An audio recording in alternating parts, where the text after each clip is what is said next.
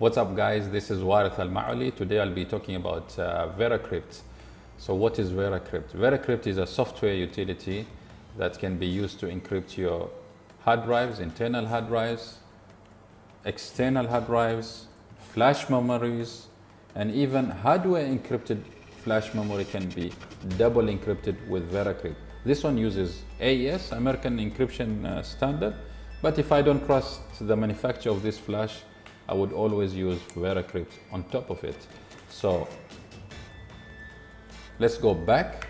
They started as TrueCrypt and it was an open source project. They discontinued and someone has forked this project and made it actually better today and called it VeraCrypt. So, so with VeraCrypt, you can encrypt your hard drives. You can also create containers and those containers are actually files, encrypted files.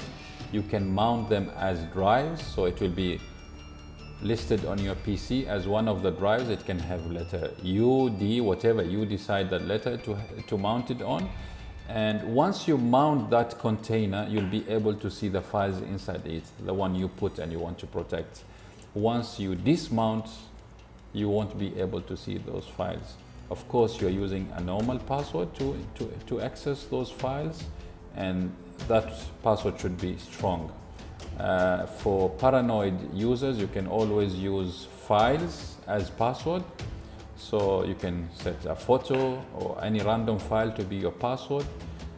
And for the advanced users as well, those paranoid users, they have something called PIM, which is personal iteration multiplier. It, it uses to control the number of iterations in a TrueCrypt uh, header or a VeraCrypt header, which is called VeraCrypt now.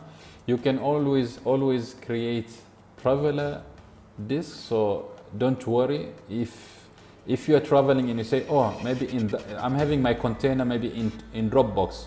So when I'm traveling maybe to, to Netherlands, I need to access that file.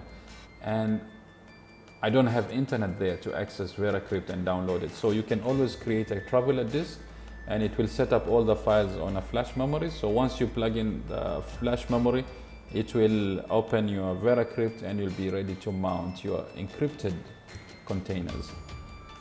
You can always uh, create a rescue disk. So uh, the encryption is, is always kept on the headers of those containers. So some, if I never had this issue, but if you had this issue uh, where the, the header gets corrupted, you can always use the rescue disk to, to recover your files.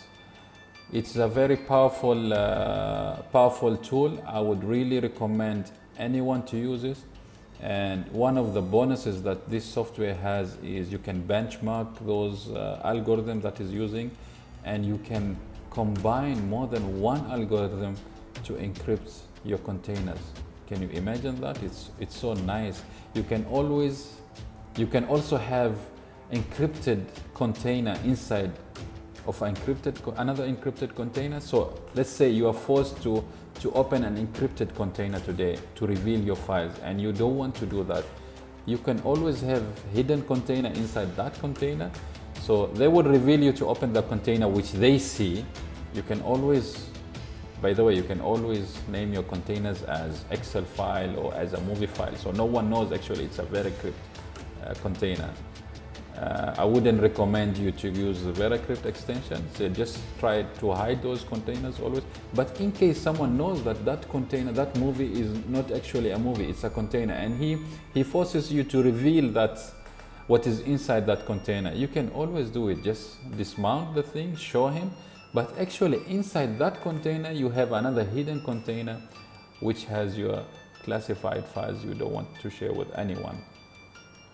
So I would really recommend uh, to use this tool any day. I myself personally use it every day and you can store anything because you can actually store any type of file. So you can store your, your let's say cryptocurrency private keys in there. You can store your KeePass You can store even your VM, VMs. You might have VMs that you don't want anyone to see. So you can store the entire operating system as a virtual operating system inside those containers. You can encrypt your entire Windows or entire Mac. Can you imagine if if you have a Windows that no one can access except you? Like whatever they do, they cannot access it because it's been encrypted by VeraCrypt. So once the PC boots up, you you will be asked to enter your VeraCrypt password, not your BIOS, which can be bypassed. No, you use your VeraCrypt encryption tool to encrypt your entire system. And trust me, once you have that, no one can access your Windows or your Mac or Linux without having the proper password. Thank you very much uh, for watching. Make sure you subscribe and leave your comments below. Thank you very much. Bye bye.